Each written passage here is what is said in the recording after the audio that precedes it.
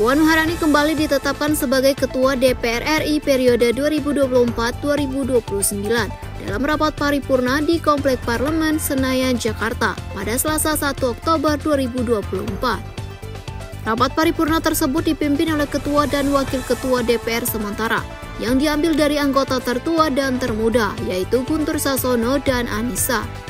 Selain Puan Marani dari fraksi PDI Perjuangan, rapat paripurna tersebut juga menetapkan empat wakil ketua DPR RI periode 2024-2029 lainnya.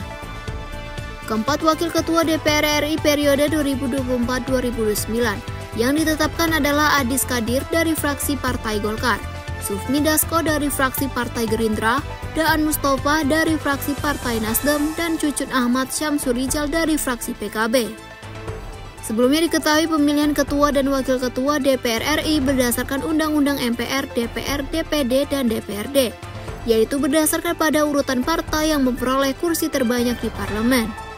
Sementara itu dalam pidato perdananya usai terpilih kembali sebagai ketua DPR RI periode 2024-2029, Puan Maharani menekankan bahwa pimpinan DPR akan bekerja secara kolektif, kolegial selama lima tahun ke depan serta mengucapkan terima kasih atas kepercayaan yang diberikan rakyat.